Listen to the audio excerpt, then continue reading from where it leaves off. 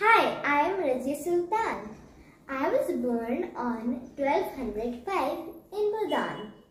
My full name is Razia Aluddin. I, I am the daughter of the Delhi Sultan Iltutmish. I am the first woman who ruled India. I ruled the Delhi Sultanate from 1236 to 1240. Thank you.